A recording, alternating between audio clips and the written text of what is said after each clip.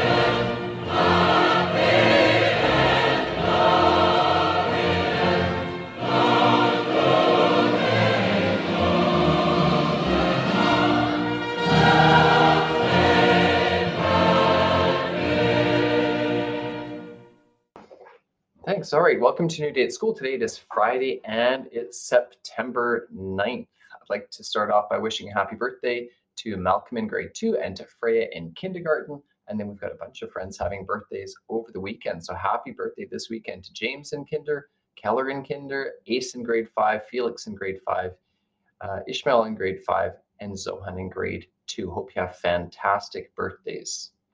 So you probably know this. Um, you're probably already celebrating today is National Teddy Bear Day. National Teddy Bear Day has been created so we have a specific date where we can pay tribute to one of our favorite toys. So maybe you'll be having a teddy bear picnic today when you get home to celebrate National Teddy Bear Day. Uh, yesterday on announcements, I talked about uh, how we are focused this week on getting ourselves ready in our lineups for our lunch supervisors when we are done eating and we're ready to go out for lunch recess. So be looking for uh, for a little report from teachers and from supervisors on how that went today. So thanks for for not being a straggler. Thanks for being all ready to go so that the class is supervised and our supervisors can get outside and do their job.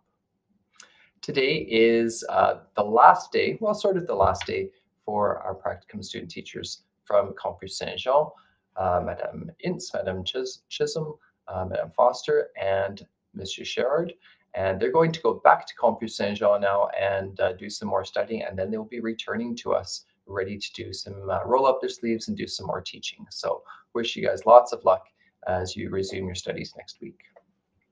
Uh, today we've got classroom newsletters posted by uh, by our teachers. Thanks teachers for doing that. And uh, students, if you could remind your uh, your adults at home, please, to make sure they get a chance to review that information. Really do appreciate that. Uh, next week, looking at our calendar, we've got quite a lot of things going on. So uh, Tuesday evening, we have a school council meeting and all, all uh, parent and guardians are welcome to attend that. I know we've got some evacuation drills that we're going to be practicing. I think those will come out uh, on, our, uh, on our school calendar for teachers.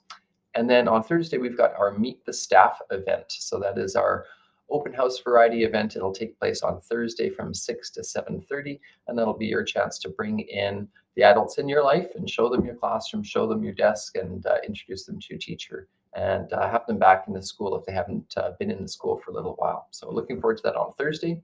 And then Friday is photograph day. That'll be our individual photographs. So we'll uh, do our best to look fine on Friday. All right, fun fact. Did you know that a jar of Nutella, that delicious chocolatey spread, sells every two and a half seconds? Well, now you do. There you go.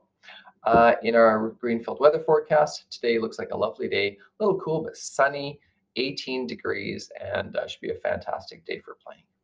That's all I've got for you today, friends. Don't forget to uh, demonstrate kindness. Don't forget to uh, work hard to do your very best job today. Don't forget to have a fantastic day and a great weekend.